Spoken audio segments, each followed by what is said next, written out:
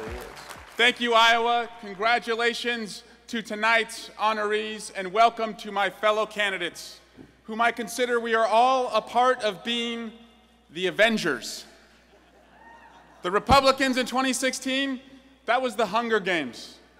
We're all in this with your help and support to save this country that we love so much. But you've already done some of that work. The work that you did in 2018 by making history and sending the first two women to the House of Representatives. Were you done when you did that work? No. Were you done when you gave us the majority? I didn't think you were done. But I'll tell you what you did. You cut our time in hell in half. You gave us a shot to save the country.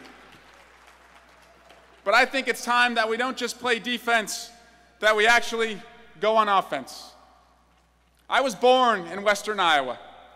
My dad was a cop, my mom worked a number of odd jobs. They had a simple dream that if they worked hard enough, dug deep enough, sacrificed enough, that their firstborn son could be the first of the family to go to college. Their hard work paid off. But for too many people of my generation, we are at risk of being the first generation that does worse than our parents. The only way to change that, the only way to reverse that, is to go big on the issues, be bold with the solutions, and do good in the way that we treat each other, in the way that we govern. We need a president who lives like you live. We need a president who has the grit that you have. And we have a president right now that doesn't understand the dreams that you have.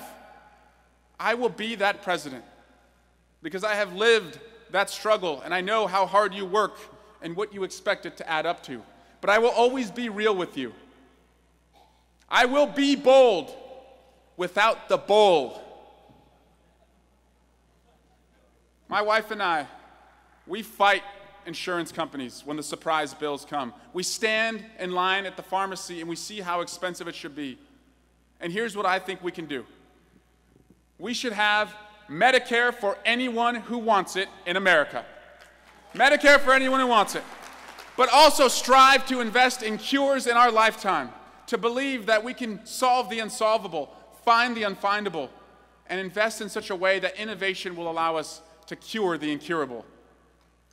I also believe that when it comes to starting a family, for our family and every family in America, it's my wife's body, it's a woman's body, it's her choice. I will only appoint judges that uphold the Roe decision, but let's not aim so low only to protect Roe. Let's repeal the discriminatory Hyde Amendment.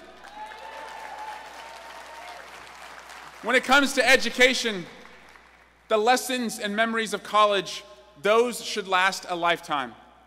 The debt should not. We should have 0% interest on every student loan in America more money to start a family, buy your first home, take a good idea, and start a business. We sent my two year old to his first day of summer preschool last week, and we worried about something that a generation before us did not whether he would come home.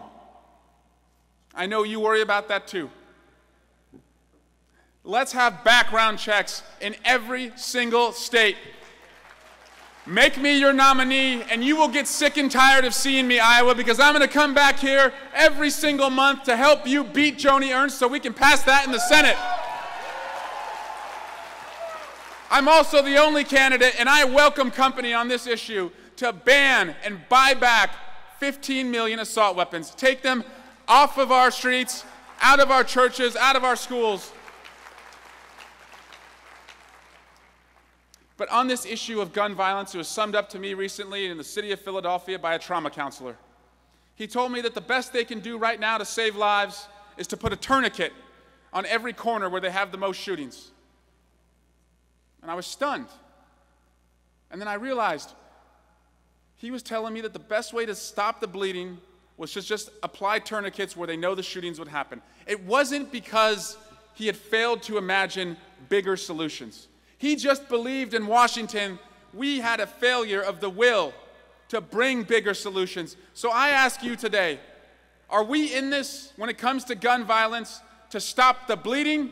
Or do we think that we can go so big, be so bold, and do such good that we can stop the shootings?